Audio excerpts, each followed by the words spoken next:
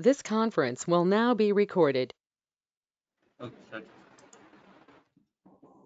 Hello, good morning, everyone. Can you hear me?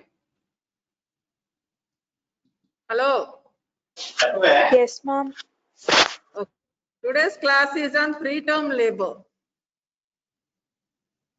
The definition is the onset of labor prior to completion of 37 completed weeks of gestation in a pregnancy beyond 20 weeks of gestation. If the labor occurs between 20 to 37 weeks of gestation is known as preterm labor. After 37, it is term labor. Okay. There are two definitions that is threatened preterm labor. Here what will happen is there will be uterine contractions are perceived, but there are no cervical changes.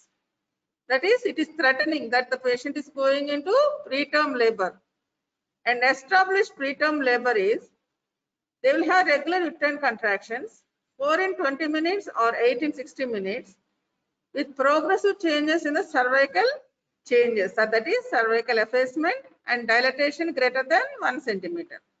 So established are associated with cervical changes along with irregular uterine contractions and pre-threatened are uterine contractions are perceived in the absence of cervical changes. There are so many terminologies. If the preterm occurs before 33 weeks, it is early preterm. Between 34 to 36 completed weeks, it is late preterm. And after 37 weeks, I already told you, it is term. Okay? What are the causes for this preterm labor?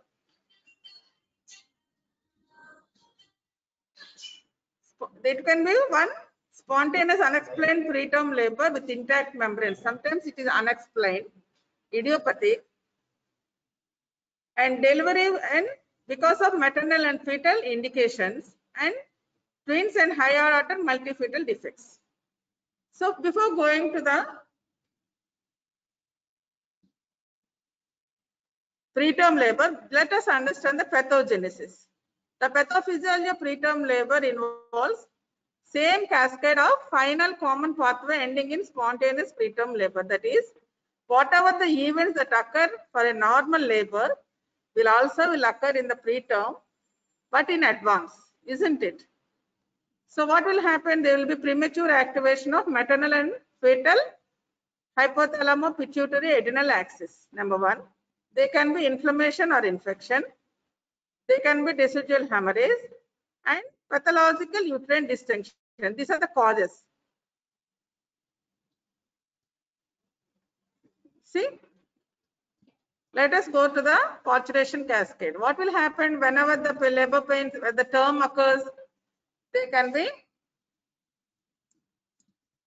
first the fetal hypothalamus will activate.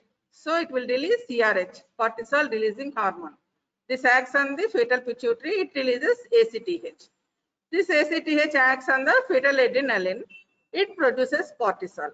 Okay? This cortisol, what does it does in pleasant in placental function? It produces estrogen. Okay. This estrogen, it acts on the maternal hypothalamus to produce oxytocin. This oxytocin is the main thing for the uterine contractions. Okay. So what does this estrogens do at the placental site? This increases the oxytocin level in the placenta and prostaglandin release will occur. These prostaglandins will be released at amnion, chorion, from decidua and myometrium also. So whenever these prostaglandins are released, whenever the oxytocin levels are increased, what will happen? There will be myometrial receptors will be present for oxytocin. See the in that the fundal, this is the fundal area, this is the lower segment, isn't it? In this fundal area, there will be more amount of oxytocin receptors will be present. This oxytocin will be released and not only the release will be there, the receptor sensitivity increased and number of receptors are also will be increased. And there will be prostaglandin release also will be present. There will be increased gap junctions and stretch receptors also will be become stimulated and there will be sensitivity also increase. All this leads to uterine contractions and labor. So what will happen in the placenta? Prostaglandins will be released. What these prostaglandins do? These are prostaglandin E2 and F2 alpha and thromboxane A2 will be present, isn't it? These prostaglandins are responsible for the uterine contractions. Not only that, the progesterone ratio will be decreased. Estrogens will be increased at the onset of labor. Progesterone is decreased. The alteration in the ratio of estrogen and progesterone are mainly responsible for the parturition cascade to initiate. Not only that, the interleukins 1, 6, 8 are also increased during the time of labor. So this much you should know. So from the fetus what will happen?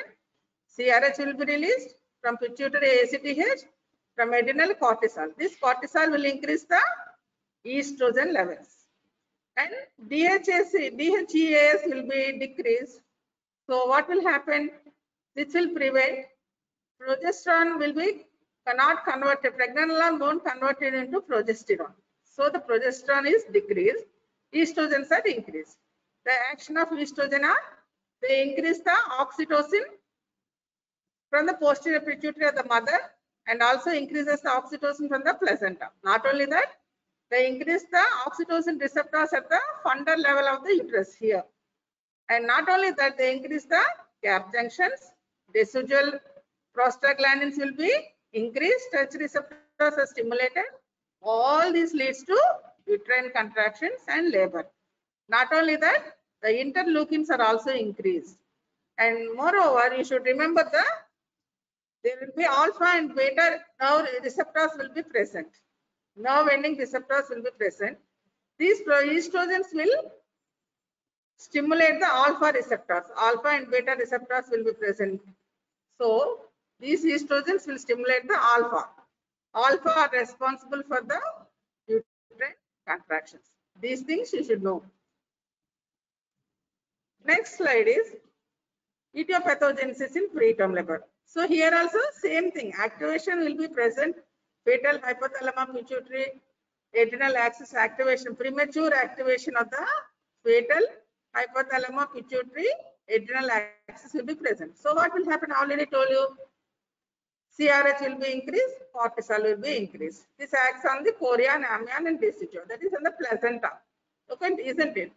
And not only that, whenever there is infection, that is vaginal infections are there, then there will be colonibacterial colonization leads to increase interleukins 168 and human necrotrophic factor. Number third one is whenever there is polyhydramnios or multiple pregnancy, there will be increased mechanical stretch will be present in the uterus. That increases the gap junctions and increases the interleukins. So stretch receptors will be stimulated.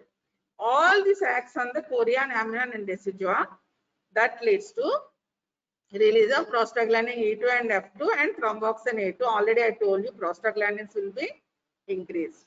Then coordinations will be increased. Collagenase will be increased. There will be collagen destruction will be present that leads to cervical ripening and softening and increased leukocyte elastase will be increased. The only one which is decreased are prostaglandin dehydrogenase enzyme will be decreased. All this will lead to myometrial contraction, cervical ripening and cervical insufficiency. So that leads to uterine contraction, cervical dilatation, isn't it? That leads to preterm labor.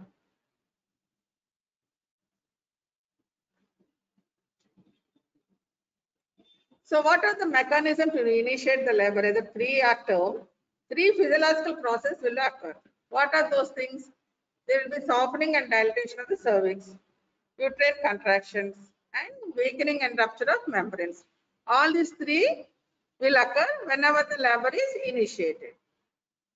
And what are the etiological factors and risk factors for spontaneous preterm labor? There are one previous history of preterm birth, number one. History of any, any genital colonization, infection or instrumentation that leads to it is one of the risk factor. Any urinary tract infection during the pregnancy. Sexually transmitted infections such as gonorrhea, chlamydia, human papilloma virus, etc.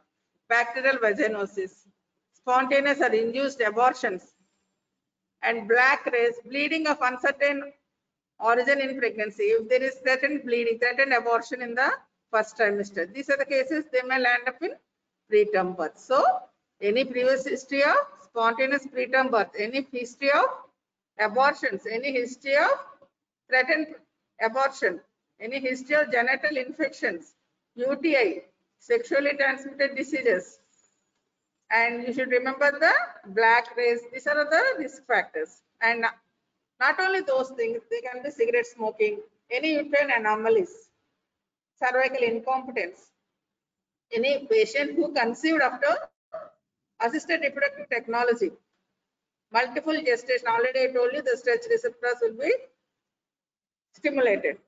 And the patient who are underweight and overweight, and any patient who had dental diseases, periodontal diseases, ENT problems, all these can lead to preterm labor.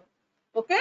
And late registration for prenatal care, if they are not taken regular ANCs and high levels of personal stress, all this can lead to preterm labor. And not only that, diabetes mellitus diagnosed before or during pregnancy, any PAH, pregnancy-induced hypertension, and obstetric disorders or risk conditions in the current or previous pregnancy, PAH, previous uterine surgery, prior cesarean section via vertical or T-shape, that is classical section, or placental disorder, placenta previa, antepartum hemorrhage. The causes are placenta previa or APH, abruptio placenta, premature separation of placenta, that is abruption. And medical disorders, all this can lead to medical disorders such as diarrhea, dysentery, any appendicitis, any renal problems. All this can lead to preterm labor. So diabetes, hypertension, antenatal APH. These are, these are abruptio and placenta previa, any uterine surgeries and medical disorders. All this can lead to preterm labor. Not only that, even fetal conditions also will compromise for the preterm labor. But they are whenever there is IUD, whenever there is IUGR, whenever there is excessive polyhydramnios or oligohydramnios, fetal hydrops, any congenital malformations in the fetus, all this can lead to preterm labor. So, any fetal IUGR, IUD, any anomalies or multiple gestation, ascites, RH incompatibility. So all this can lead, ascites, blood group, all immunization, all this can lead to preterm labor. Have you understood till now? Hello? Hello? Hello? Hello? Can you listen me? Hello ఎన్నిసార్లు అరవాలరా? ఊ అంటానికి. అర్థమైందా? లేదా? అర్థమైంది ఒక్కసారి వెనక్కి వెళ్దామా?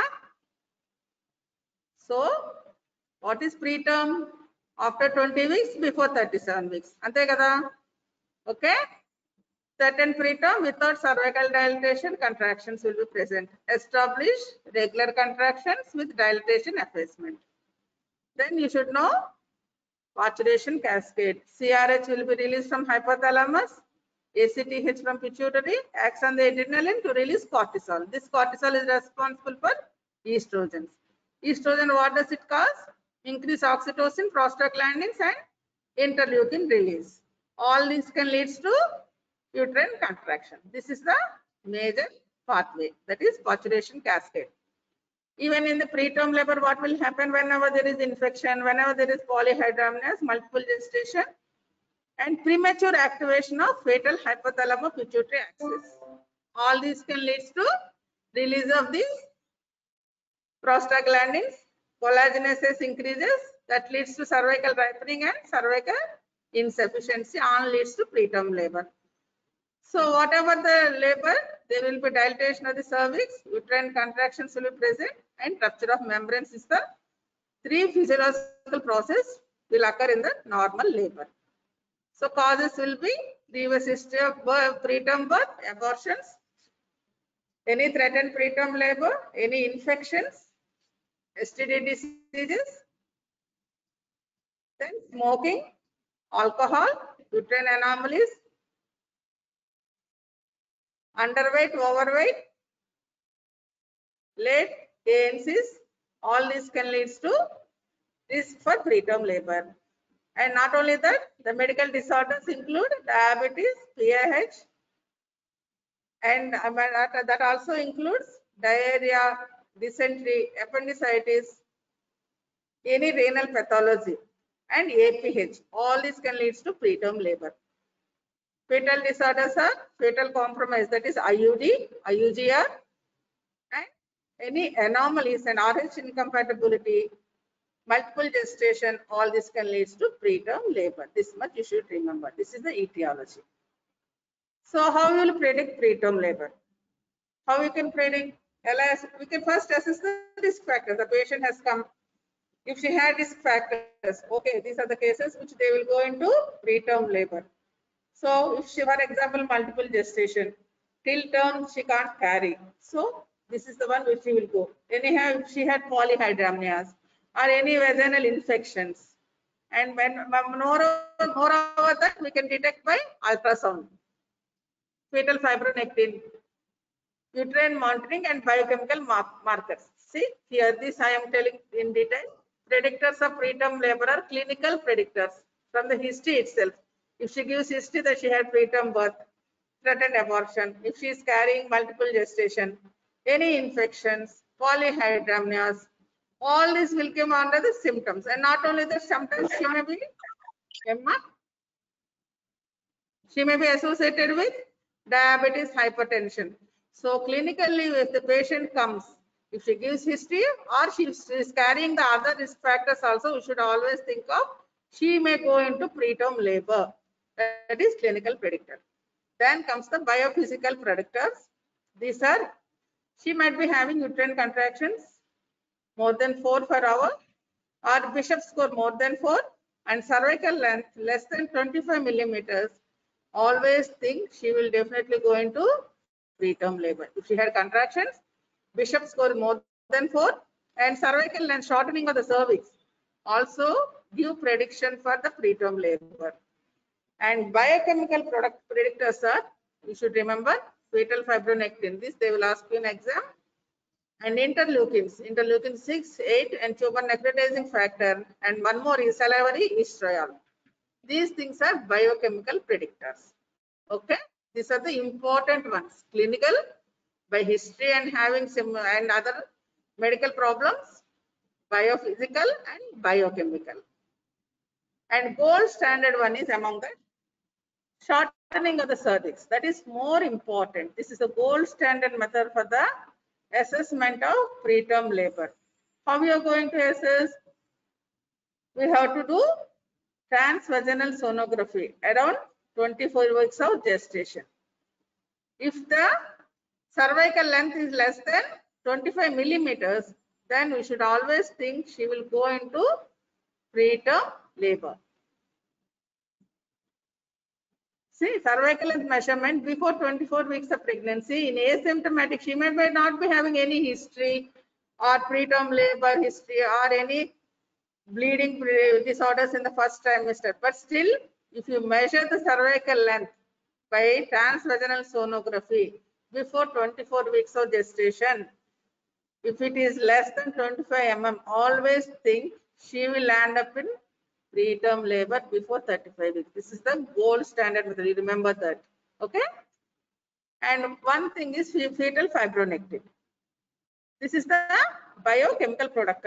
So what is this fetal fibronectin? This is nothing but a protein. What does it do? It binds the chorion amnion to the decidua. So it will bind the chorion amnion, that is fetal membranes to the decidua. So what will happen?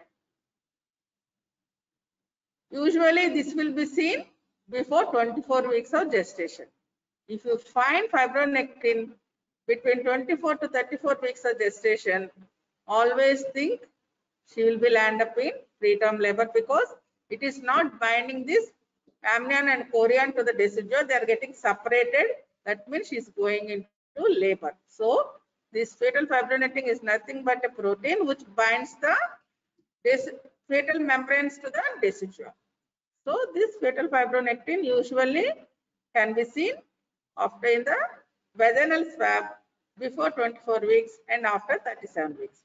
If you see between 24 to 37 weeks in between this fetal fibronectin, then always think of she will go into preterm labor.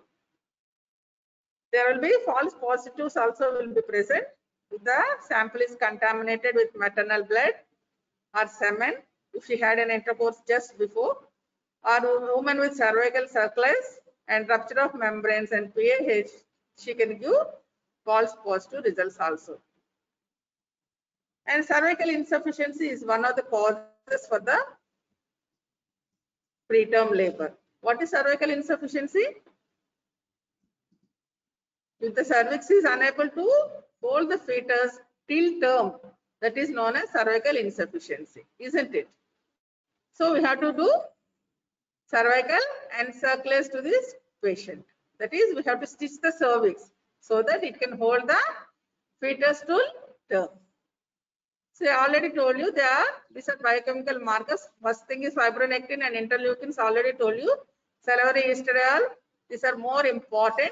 Other uh, other features are human necrotizing factor. If you can remember, it's well and good. Otherwise, at least these three are important. That is salivary estradiol, interleukin 618, and fetal fibronectin, isn't it? And progesterone levels.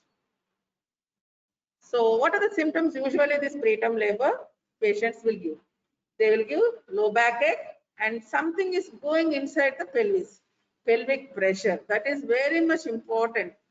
When the patient complains something is going, that is heaviness in the lower abdomen and backache. And sometimes they will give history of vaginal discharge or bleeding.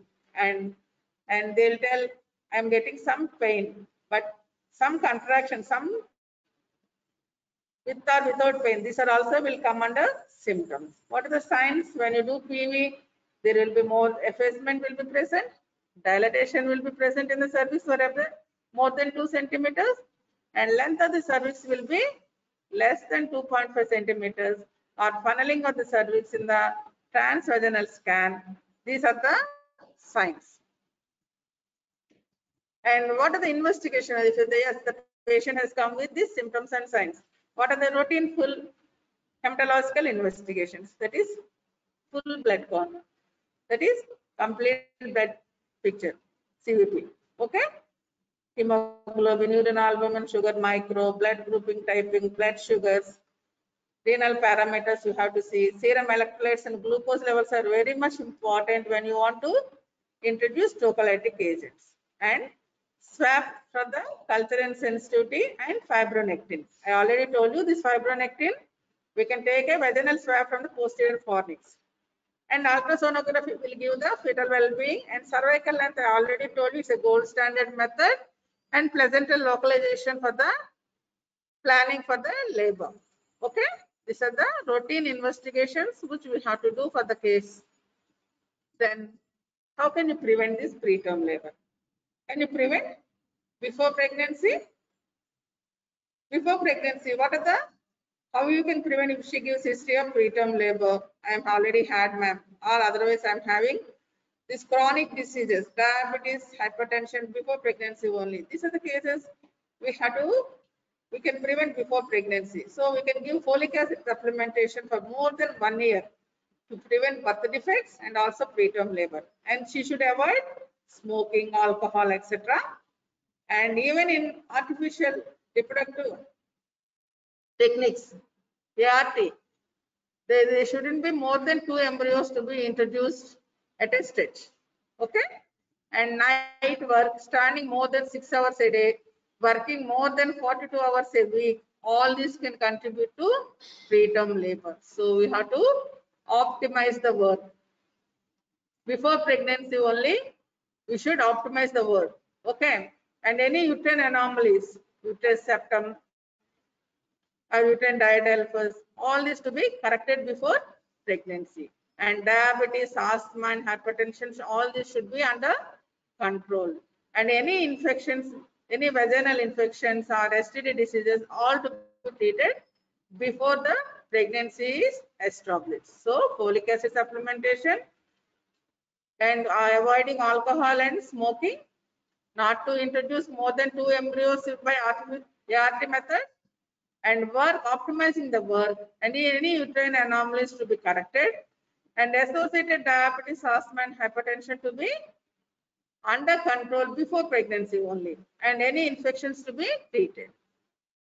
And during pregnancy, what we can do? We can do vitamin supplementation, again smoking to be stopped, calcium supplementation, periodontal care to be taken. I already told you periodontal and ENT problems, all this can lead to preterm labor.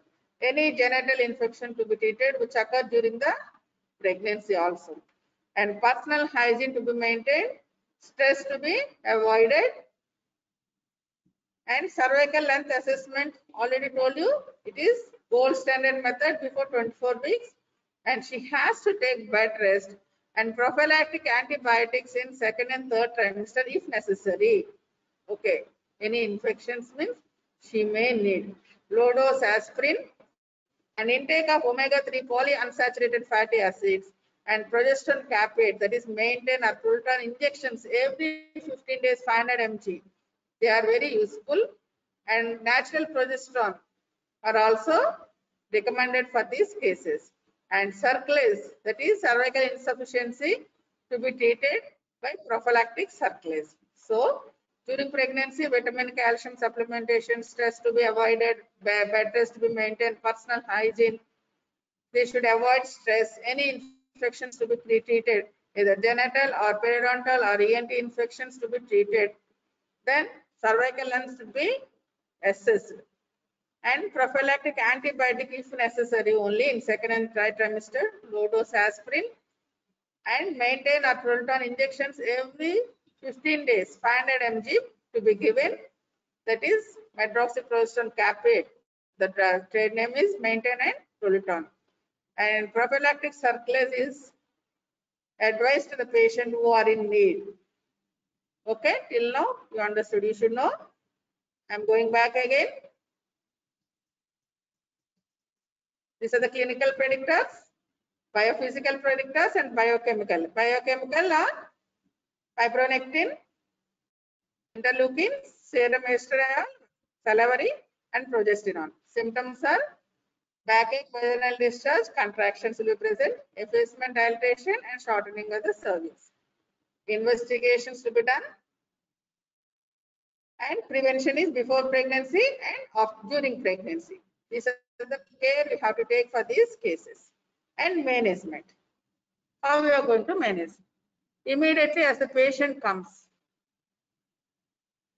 Most appropriate because these are the preterm labor that's why what we have to do we have to transfer to the tertiary center where the baby will be looked after. The mother will deliver. Then the tertiary center, the pediatric people will be present with NICU facilities. When it is there, we have to referral to the patient. Antibiotics, if she had any infection, and tocolysis we have to give for these cases to stop the preterm labor. Short-term tocolysis is mostly advised. Why this short-term tocolysis is advised? we can one thing is we can shift we can time it will take time we can avoid pre, preterm labors that's why we can shift to the patient number two we can give glucocorticoids so that the neonatal morbidity and mortality can be reduced by RDS. So when you give glucocorticoids, what will happen? There will be lung maturation will occur. So it will take 48 hours to get the lung maturation and RDS and intraventricular hemorrhage, necrotizing enterocolitis, all this will be reduced when you give glucocorticoids. So tocolysis is very much important. So already told you tocolysis in preterm labor are administered only for a short time. So as to allows the time for surfactant treatment, maternal transfer to the tertiary care facility or by treating the infections and for giving glucocorticoids. So what are the drugs we'll give for tocolysis? You just remember being a fifth sem, nifedipine, ergotamine, magnesium sulfate, ritodrine. These are the drugs usually we'll give. So depin, terbutaline, magnesium sulfate, and ritodrine. Four names you just remember. Okay. And what are the contraindications for this? Each and every person can you give this tocolysis? No. To whom we uh, have there are some contraindications. These are the patient is having severe diabetes. The patient is having severe preeclampsia, abruptio placentae. If she is bleeding, there is fatal death. There is no point in waiting for the stopping for the labor. If the fetus is having any anomalies, sorry, or severe IUGR, or if the cervical dilatation is more than 4 centimeters, we can't stop by giving tocolysis. So, contraindications are if she is having severe PAH, severe abruptio placentae, or any chorioamnionitis, any infection, fetal death, fetal anomalies, severe IUGR, if the dilatation is already more than established labor, if she is in established labor more than 4 centimeters, or if there is premature rupture of membranes with dilatation, then these are the contraindications for the tocolysis. And steroid therapy is very much important. I already told you, if you give steroid therapy, the lungs will get mature. So what are the drugs we are going to give in this steroid therapy? Only two drugs. Just remember betamethasone, dexamethasone. Of these, betamethasone is most mostly given. So what you are going to do? Two doses of betamethasone, that is 12 milligrams, 24 hours apart, two doses. Okay, 12 milligrams, 24 hours for two doses. Dexamethasone, four doses, 6 milligrams, 12 hours apart. Okay, 6 milligram, half the dose of betamethasone, you remember 6 milligrams. Here 12, 24 hours apart betamethasone, here 12 hours apart, and we have to give four doses to be given for dexamethasone. So for fetal maturation, it reduces the RDS, intraventricular hemorrhage. So as soon as the first dose after completion, after 48 hours of completion, we can we can make her deliver so that the drug will act on these patients. Benefit starts after 24 hours and lasts for seven days after treatment. So two drugs, betamethasone and dexamethasone, two 12, 24, you remember, two doses, 12 milligrams, 24 hours. Today one dose, tomorrow one dose, enough, betamethasone. But dexamethasone, half the dose we are giving, that's why we have to give 12 hours apart. Four doses we have to give, four, six, every six hourly we have to give, okay? So how are you going to manage during labor? So first stage, the patient should be on bed. She went into labor. What you're going to do? She, the patient is put on bed to prevent early rupture of membranes. Number one. We have to give oxygen supplementation for adequate fetal oxygenation. Then epidural analgesia is a must. It's the choice actually. Okay. Labor should be monitored by electronic fetal monitoring. Fetal heart, rate to be measured. Okay. Only usually preterm labors usually they will deliver normally unless associated with severe hypertension, abruption or malpresentations. Then we can go for the cesarean section. In second stage, what we can do? The birth should be gentle. Episode to be given. If necessary, we can apply low forceps. And the cord should be clamped immediately to prevent hypervolemia and hyperbilirubinemia. Immediately, you have to shift to the neonatal intensive care unit. Okay? Always keep the patient in the bed, give oxygen supplementation. Then electronic fetal monitoring is important. We can see whether she can deliver vaginally or we have to decide whether she has to go for the cesarean section. Then if you are planning for the vaginal delivery, episiotomy to be given. If necessary, you can give low forceps to prevent intracranial hemorrhage. The cord should be clamped immediately to prevent hyperbilirubinemia and hypervolemia. And immediately as the baby is delivered, we have to shift to the neonatal intensive care unit. And what are the main problems we see in these cases? Baby, RDS. In pulmonary system, RDS is the most important. GIT, hyperbilirubinemia, immunological immune deficiency, CNS, intraventricular hemorrhage, ophthalmic retinopathy is important. And in cardiovascular system, PDA, this is more patent ductus arteriosus. And renal system electrolyte imbalances are more common in these cases. And hematological iatrogenic anemia will be present. And endocrine hypoglycemia are seen in these cases. And transiently, thyroxine levels will be decreased. So complications are, at least remember one point, pulmonary RDS, GI hyperbilirubinemia, feeding intolerance will be present. Immune deficiencies will be present. You already know they are not completely, they are not matured fetuses. CNS, intraventricular hemorrhages, ophthalmological retinopathy This is more common. PDA for cardiovascular, renal are electrolyte imbalance, hematological are they can have anemia because of prematurity and in endocrine they can have hypoglycemia. Okay, thank you.